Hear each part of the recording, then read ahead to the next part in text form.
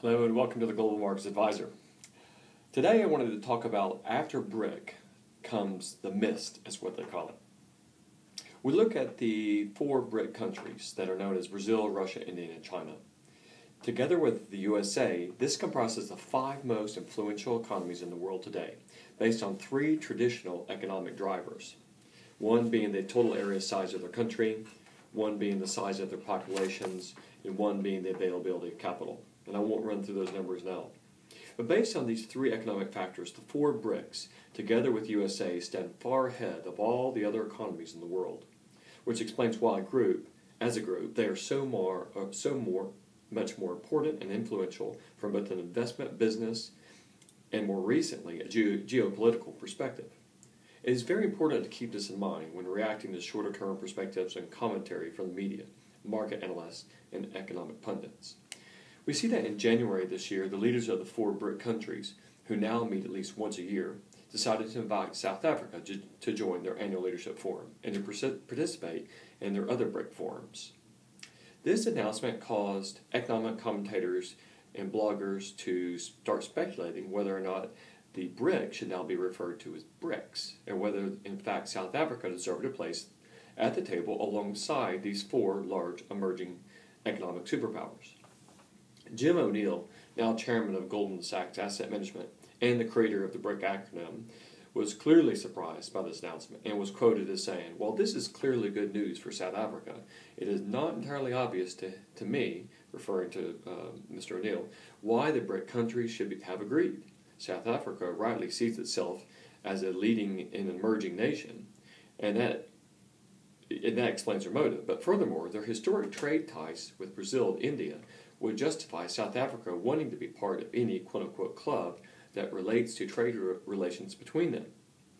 Of course, the rapid trade that's, had, that's developed between China and Africa, South Africa included, can explain much of their motive also.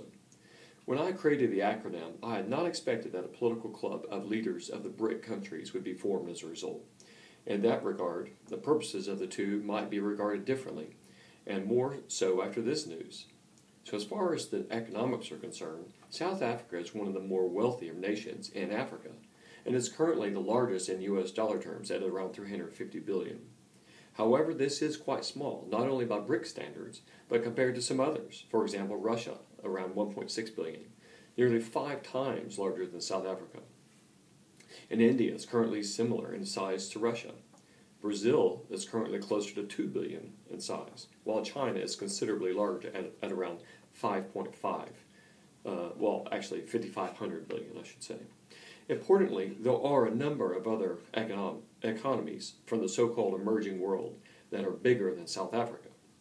These would include Indonesia, right around 700 billion, Mexico, around 1,050 billion, Turkey, around 725 billion, South Korea, around 1,000 billion. These four nations, along with each of the BRIC economies, are all 1% or more of global, global GDP, and what we would increasingly think of as quote unquote growth economies. It is tough to see how South Africa matches up to these four countries, never mind the BRIC countries. As a result of the above, Jim O'Neill proposed a new grouping of emerging countries, which has evolved into a new acronym called the MIST, M-I-S-T, and has caused even more debate about the pecking order of the world's new economic superpowers and who we should be looking out for as a next wave of emerging nations.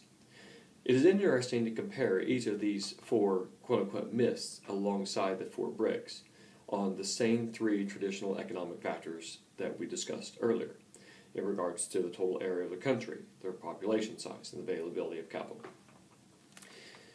The MIST grouping sits far behind the BRICS in terms of their economic uh, influence, wealth, their size, and even their populations. Of course, this doesn't mean that they are any less important or relevant in terms of their trade, investment, and or their business opportunities. It just means that they are smaller, less influential, and they contribute less to global GDP growth. So what should we make of all this? For what it's worth, it's very distracting to get caught up in all the short term speculation, the gossip, the commentary about all the different acronyms and the groupings, and all the various labels that are given to the emerging or the submerging, the frontier, the developing, or the developed markets.